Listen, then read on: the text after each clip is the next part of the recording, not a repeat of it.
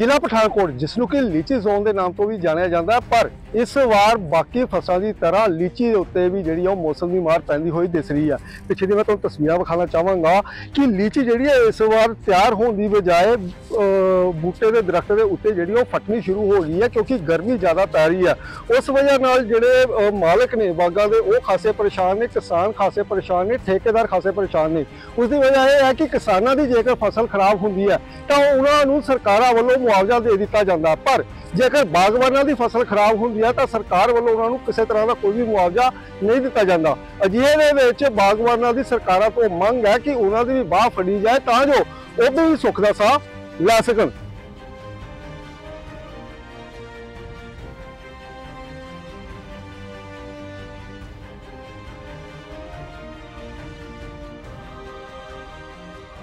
ਇਸ ਵਾਰ ਕਿਸ ਤਰ੍ਹਾਂ ਦੇ ਹਾਲਾਤ ਨੇ ਲੀਚੀ ਦੇ ਕਿੰਨਾ ਕੁ ਪੈਦਾਵਾਰ ਹੋਈ ਹੈ? ਅ, ਲੀਚੀ ਜ਼ੋਨ ਤੇ ਡਿਕਲੇਅਰ ਕਰਤਾ ਲੀਚੀ ਦੇ ਲੀਚੀ ਸਟੇਟ ਬਣਾਤੀ ਹੈ ਜ਼ੋਨ ਡਿਕਲੇਅਰ ਕਰਤਾ। ਜਿਹੜਾ ਉਹਦੇ ਵਾਸਤੇ ਫਾਇਦਾ ਤੇ ਕਿਸਾਨਾਂ ਨੂੰ ਤਾਂ ਇਹ ਹੈ ਵੀ ਜੇ ਕਿਸਾਨਾਂ ਨੂੰ ਪ੍ਰੋਪਰ ਫੈਸਿਲਿਟੀ ਮਿਲੇ ਉੱਥੋਂ।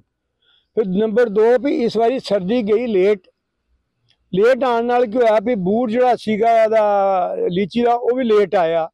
ਲੇਟ ਆਉਣ ਨਾਲ ਕੀ ਹੋਇਆ ਕਿ ਲੀਚੀ ਪ੍ਰੋਪਰ ਮੈਚੁਰ ਨਹੀਂ ਹੋਈ। ਪ੍ਰੋਪਰ ਜਿਹੜਾ ਸਾਈਜ਼ ਬਣਨਾ ਚਾਹੀਦਾ, ਉਹ ਬਣੀ ਨਹੀਂ। ਫਿਰ ਉਹਦੇ ਬਾਅਦ ਗਰਮੀ ਇੱਕਦਮ ਆਈ। ਜਿਹੜਾ ਅੱਗੇ ਆਂਦਾ ਸੀ ਟੈਂਪਰੇਚਰ ਬੜਾ ਤਰੀਕੇ ਨਾਲ ਆਂਦਾ ਸੀ, ਬੜੇ ਆਰਾਮ ਨਾਲ। ਹੁਣ ਗਲੋਬਲ ਵਾਰਮਿੰਗ 'ਚ ਚੇਂਜਸ ਆ ਗਈਆਂ, ਸਭ ਨੂੰ ਪਤਾ ਲੱਗ ਰਿਹਾ ਹੈ। ਉਹਦੇ ਨਾਲ ਕੀ ਹੋ ਰਿਹਾ ਵੀ ਜਿਹੜੇ ਗਰਮੀ ਪੈ ਜਾਂਦੀ ਹੈ ਗਰਮੀ ਪਈ, ਪਹਿਲੇ ਪਈ ਹਲਕੀ ਜੀ ਬਾਰਿਸ਼, ਪਿੱਛੋਂ ਫਿਰ ਗਰਮੀ ਤੇ ਲੀਚੀ ਹੋ ਗਈ ਕਰੈਕ ਉਹਦੇ ਨਾਲ ਕੀ ਹੋ ਗਿਆ ਵੀ ਲੀਚੀ ਕਰੈਕ ਹੋਣ ਨਾਲ ਉਹ ਲੀਚੀ ਜਿਹੜੀ ਕਰੈਕ ਹੈ ਹੁਣ ਉਹ ਨਾ ਕੋਈ ਤੋੜਦਾ ਉਹਨੂੰ ਤੇ ਨਾ ਉਹਨੂੰ ਕੋਈ ਖਰੀਦਦਾ। ਉਹਦੇ ਨਾਲ ਕੀ ਹੋਇਆ, ਕਿਸਾਨ ਦਾ ਤਾਂ ਹੋ ਗਿਆ ਨੁਕਸਾਨ। ਜੇ ਵਪਾਰੀ ਦਾ ਨੁਕਸਾਨ ਹੋਇਆ ਤਾਂ ਉਹਦੇ ਨਾਲ ਕਿਸਾਨ ਦਾ ਨੁਕਸਾਨ ਡੈਫੀਨਿਟ ਹੋਇਆ। ਜੇ ਕਿਸਾਨ ਦਾ ਨੁਕਸਾਨ ਹੋਇਆ ਤਾਂ ਉਹ ਤਾਂ ਮਰ ਗਿਆ।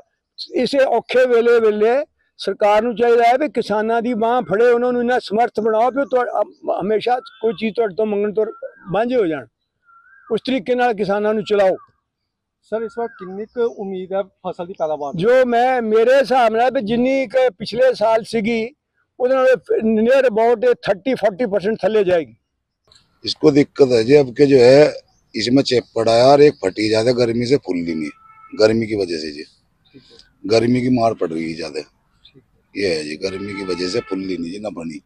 कितने फ़ीसदी फ़सल जो है वो खराब हुई? इससे तो जो है जी बीस परसेंट फ़सल खराब होगी पच्चीस। पिछली बार से पिछली बार से पच्चीस तीस पे से खराब खराब हो रही है जी। इस गर्मी की वजह से जी। चोट चोटी की ज़्यादा खराब होगी जी लीची। और वैसे जोत भी फट रही है जी।